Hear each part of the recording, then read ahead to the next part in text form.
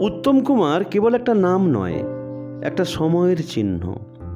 যে সময়টা সিনেমার পর্দা ছাপিয়ে ব্যপ্ত হয়েছিল বাঙালির সাংস্কৃতিক শিকড়ে, যার সঙ্গে লগ্ন হয়েছিল বিগত শতাব্দীর মধ্যবিত্ত বাঙালির স্বপ্ন, স্বপ্নভঙ্গ, আশা, বিচ্ছেদ, প্রেম। উত্তম কুমার কত বড় অভিনেতা ছিলেন বা কেন তার আবেদন এমন সর্বজনীন, সে আলোচনা ক্রিটিকদের জন্য। কিন্তু তিনি সর্বার্থেই হয়ে উঠতে পেরেছিলেন এক আদর্শ বাঙালি, তাই তিনি আজও অম্লান। তার ভুবন ভোলানো হাসিতে মুগ্ধ না হয়ে কি থাকা যায়? অথবা সেই রোমান্টিক চাউনির অমোঘ আকর্ষণ কি এড়ানো সম্ভব?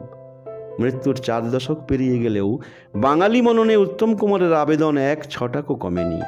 তিনি বাঙালির চিরকালীন নায়ক। সত্যজিৎ রায় যখন মহানায়ককে চিনতেন, তখন উত্তম কুমার বাংলার জনপ্রিয় নায়ক। মহানায়ক নন।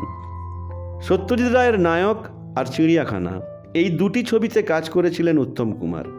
নায়ক উত্তম কুমার আর তার আড়ালে লুকিয়ে থাকা মানুষ উত্তম কুমারের এক মনস্তাত্ত্বিক দ্বন্দ্ব ফুটে উঠেছিল নায়ক ছবিতে।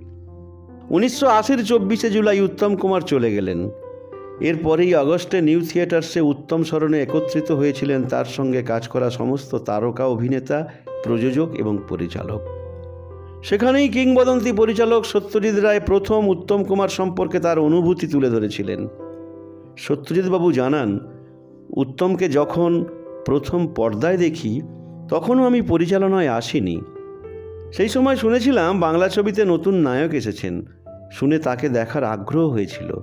সেই দিনগুলোয় যেসব নায়কেরা ছিলেন, তাদের মধ্যে দুর্গাদাস বন্দ্যোপাধ্যায়, প্রমথেশ বড়ুয়া সাইগল ধীরাজ ভট্টাচার্য জনপ্রিয়।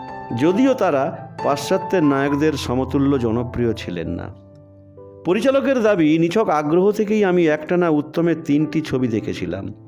তিনটিরই পরিচালক ছিলেন নির্মল দে। প্রথম দেখাতেই ভালো লেগেছিল উত্তমকে। উত্তমের চেহারা সুন্দর, তার উপস্থিতি যথেষ্ট আকর্ষণীয় এবং তার অভিনয়ে মঞ্চাভিনয়ের কোনো ছাপ নেই। ফলে আমি কিন্তু ওর উজ্জ্বল ভবিষ্যৎ সেই সময় থেকেই দেখতে পেয়েছিলাম।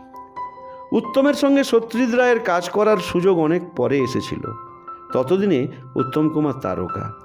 প্রায় প্রতি বাংলা ছবিতে তিনিই নায়ক। সুচিত্রা সেনের সঙ্গে জুটি বেঁধে একের পর এক হিট ছবি উপহার দিচ্ছেন।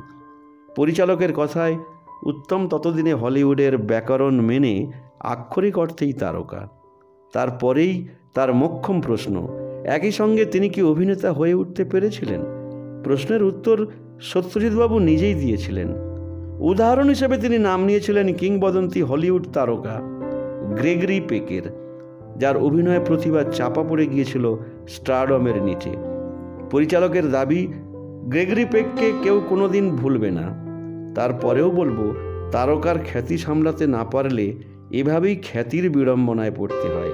পাশাপাশি তিনি এও স্বীকার করেন, তারকাসুলভ হয়ে ওঠার পরেও উত্তমের মধ্যে প্রচুর সম্ভাবনা ছিল, যা গ্রেগরি পেক দেখাতে পারেননি।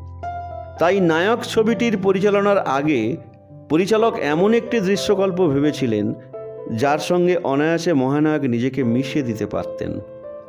উত্তম কুমারের জীবনের কিছুটা নিয়েই তিনি তৈরি করেছিলেন নায়ক ছবিটি। সত্যজিৎ রায়ের চিত্রনাট্য শুনে এক কথায় রাজি হয়েছিলেন উত্তম কুমার। কেবলমাত্র পরিচালককে ভরসা করে নায়ক সুলভ সমস্ত আচরণ সরিয়ে স্বাভাবিক অভিনয় করেছিলেন তিনি। সেই সময় সদ্য বসন্ত থেকে ভুগে উঠেছেন মহানায়ক।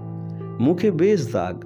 তারপরেও সত্যজিৎ রায়ের কথা মেনে এক ফোঁটাও মেকআপ করেননি তিনি।